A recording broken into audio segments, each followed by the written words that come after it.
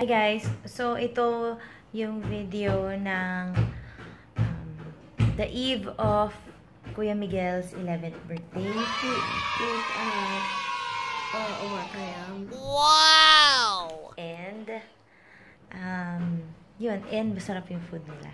Lagi naman kami pumupunta sa Omar Khayyam kapag ka, ano, um, actually, trinay namin na pumunta dun sa Yaya Restaurant kasi meron silang Peking duck.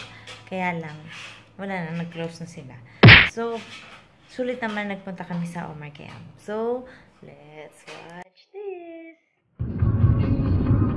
Muling